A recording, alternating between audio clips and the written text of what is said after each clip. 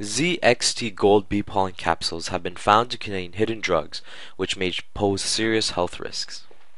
Health Canada has found that these bee pollen dye pills called ZXT Gold can actually uh, have drugs in them, which is uh, really serious, and it's being distributed by a company called FloydNutrition.com. And uh, these are very serious health risks. Now, uh, what can you do as a consumer? Well, you have to know that this product contains hidden pharmaceutical drugs that increase the risk of heart attacks and may cause cancer.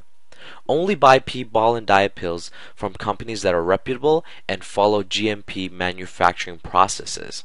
Bee pollen diet pills should be all natural, and if there's anything added to them, that means they're low quality.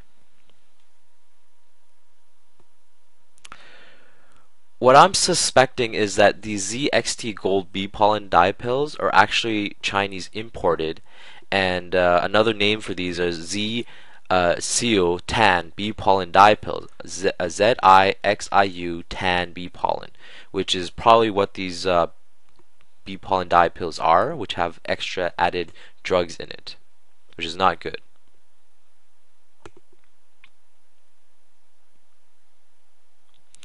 Uh, I recommend you buy all your natural high quality bee pollen from Xtend-Life, which is a company based in New Zealand, which has been in business for over 10 years. And uh, they follow GMP manufacturing processes and they don't add drugs to uh, their bee pollen. Check out my website below at beepollendyepills.com for more information.